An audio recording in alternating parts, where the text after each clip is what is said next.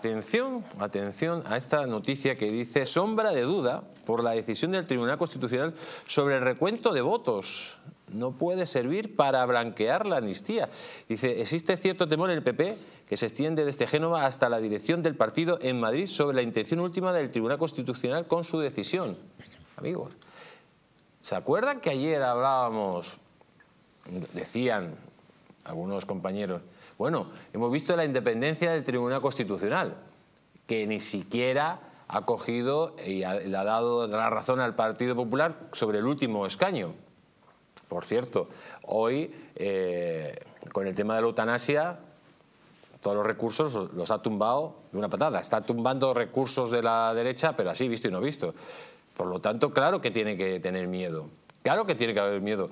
Está, el señor Pumpido es un sicario, es el mamporrero de Sánchez.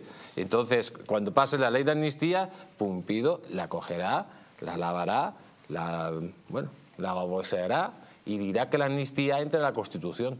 Entonces, ante esta situación, si se da esa situación, ¿qué se puede hacer? Porque claro, ante un golpe de Estado, la rebelión cívica Está justificada legalmente. Lo que no podemos dejar que esta gente nos usurpe la democracia, la libertad, la unidad de España.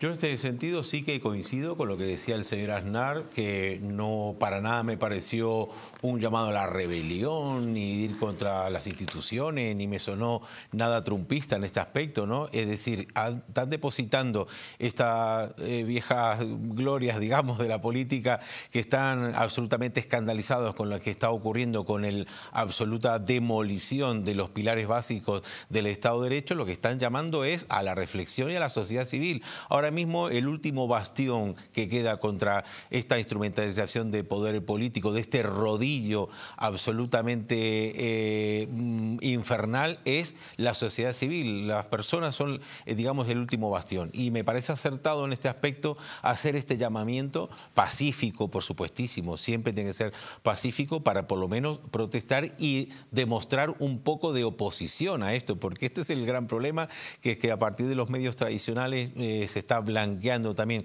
todo este tipo de, discursos, se está abriendo esa ventana de Overton cada vez es más grande. La ventana de Overton es todo aquello que lo que esté metido ahí está ocurriendo y lo que esté fuera no ocurre. Este es el gran problema, que los medios eh, mamporreros, los medios que son los tentáculos mediáticos de ese oficialismo están cada vez abriendo más esa ventana, introduciendo en esa ventana todos estos conceptos que están normalizando y aquí no queda más remedio a la sociedad civil que oponerse pacíficamente científicamente.